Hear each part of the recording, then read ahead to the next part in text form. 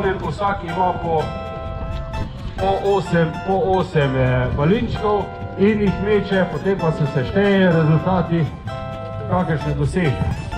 Ko konča z vsem osmim balinčkom, ko konča z vsem osmim balinčkom, se si vsak pobere balinčke in se sešteje rezultat, kakršnega doseže.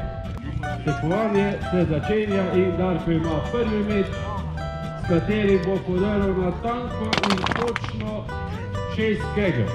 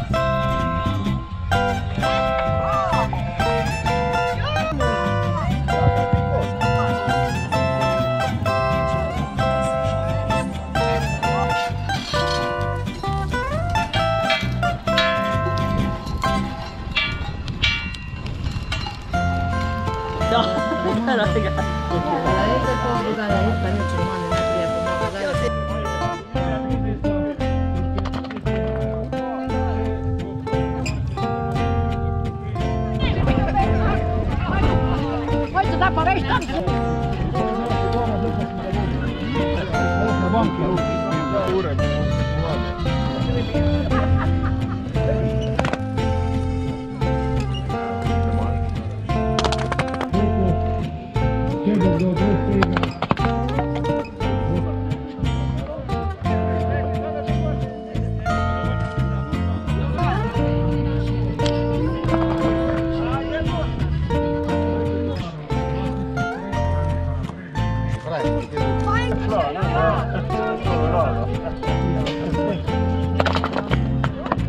je znan rezultati, vas obvestim in se izpeljem v drugi krog. To sem že prej rekel.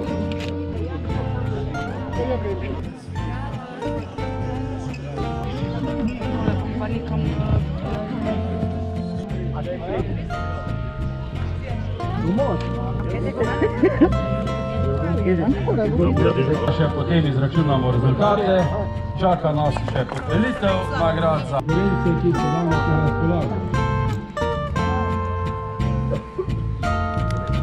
Glede na Torej, treh konkurenčnih. 0,4 kg, a ne?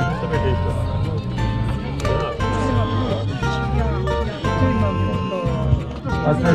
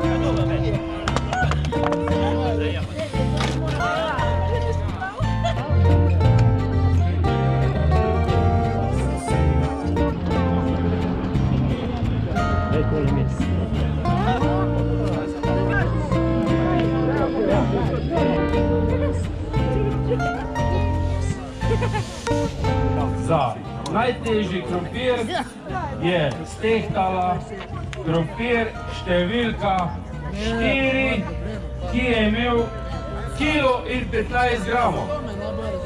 Si je prislužila medaljo za najtežji krompir v letu 2019, to se pravi kilo in 15 gramov. Glede na to, da je zmagovalka krompirja, ti še pripada ena buteljkica. Je, za kasu še pa kozarce zraven pa le točno. Da pit, da bomo pili. Ne, ta ni, ampak številka sedem. Kdo je pa to lastnik? Spet Marija Vahun. In sicer rekli so, da jih spominja na tisto budo, ko tam nek sedi pa to, to ne vem, kje se to dogaja. Medaljo se bo.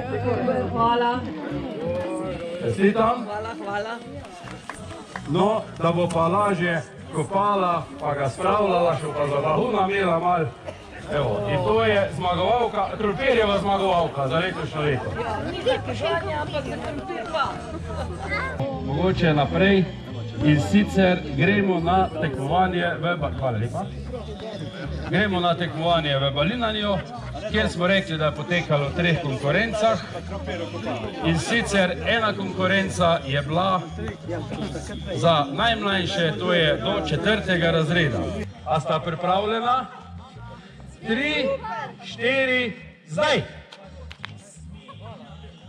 In kdo je imel zelen kegel? Zmagovalec je Miha! Malinček! Balinček, balinček, vse se bom naučil do drugega leta, bom pa drugo igro naredil. Izvoli, drugo mesto, čestitam. Še prvo mesto v Balinanju, Miha, čestitam. Čestitam. Še malo počakajte, imam še tole nekaj, ko mi je bilo tek na pol, da sem tiho mi nekaj najdu tole ven.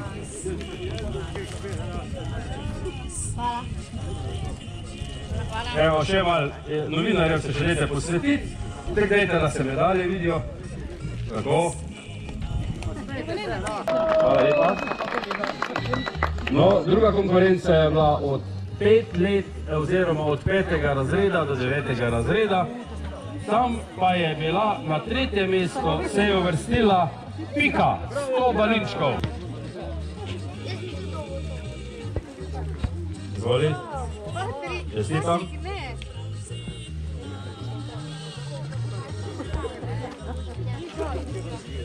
Izvoli. Drugo mesto v tej konkurenci je zasedla Tinkara, 200 balinčkov.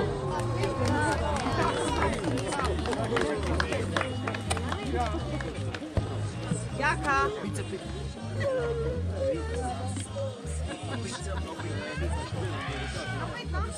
Čestitam. In prvo mesto v tej konkurenci 400 balinčkov, Juri.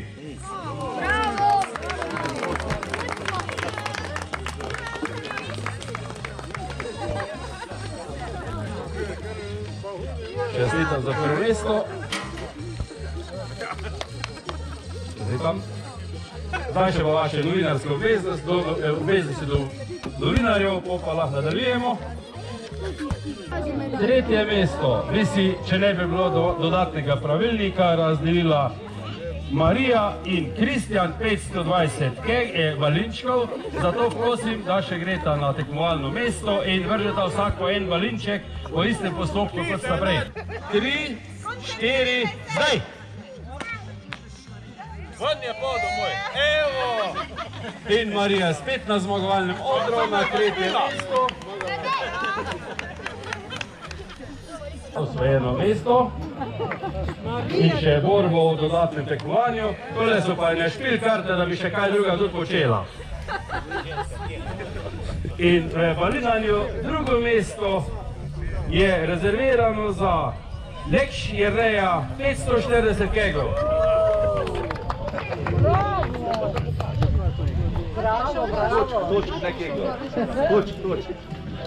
Se upravičujem, Balinčkov. Čestitam.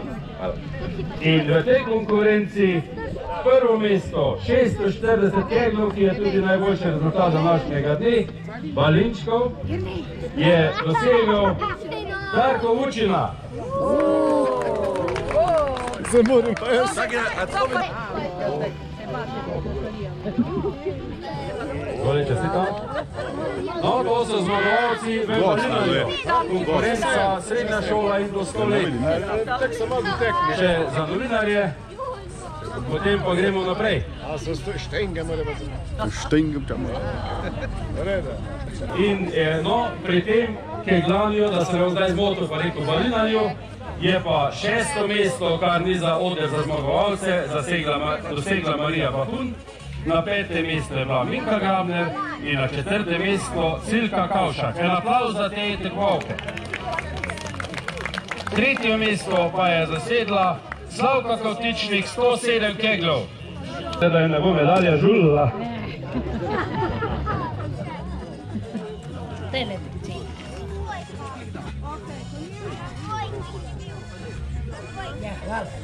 Čestitam.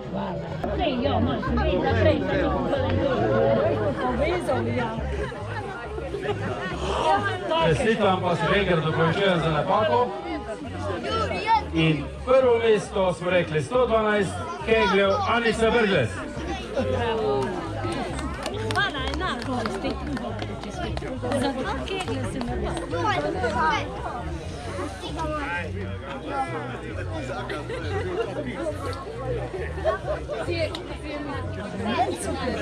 Čestitam.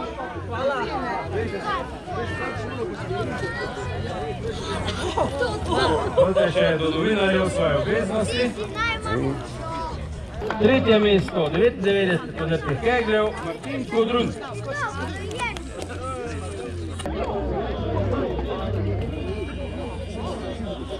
Čestitke za osvojene stopničke, tole en, eno majhno darilce, pa še eno majhno darilce, čestitam. Drugo mesto v tej konkurenci 100 podrtih kegljev Tomo Bahun.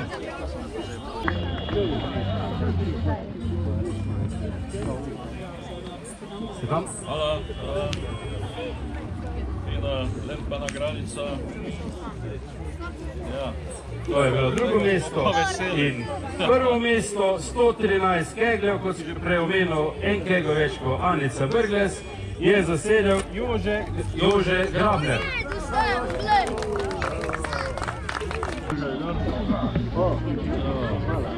Si tam?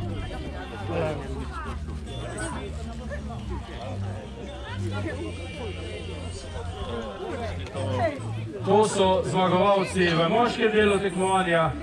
Glede na to, da je, kar malo še počakajte, glede na to, da je Jože tudi dosegel največ podrtih keglov v letošnjem letu, mu pripada tudi prehodni pokal, katerega je že imel dva, dve lete pri sebi. Naj opozorim, naše pravilo tule je, da kljub temu, da ga usvaja tretjič zaporedoma, ne ostane pri njem, ampak se mora še naprej boriti za njega. Zato mu še enkrat čestitamo za osvojeni pokal.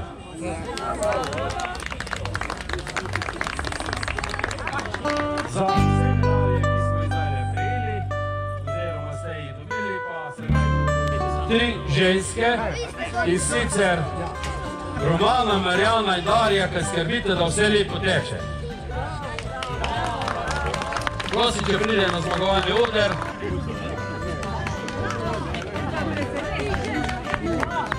Evo, zahvaljujem se vam za pomoč, pa še prosim za naprej. Pa vam izročam darila oziroma nagrade, ki jih sponzorira Miha Gorše.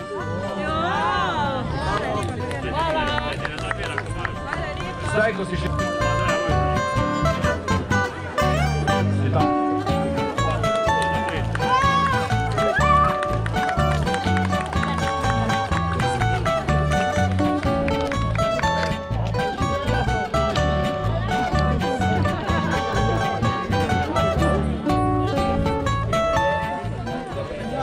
Takole nagrade so podeljene, zmagovalce imamo za letošnje leto. Krompir, ki, ki ste ga prinesli, ga lahko odnesete, zdaj je svoje tekmovanje opravo. E, prosim, da ga ne hranite do drugega leta, ker imamo vse poslikano, ga bomo poznali, če pride nazaj. E, pa bi se vam zahvalil za udeležbo, pa ostanite še tule pri nas, saj koste se peče, krompir se peče, pijače še pa tudi. Jaz pa ne bom več moto. Hvala.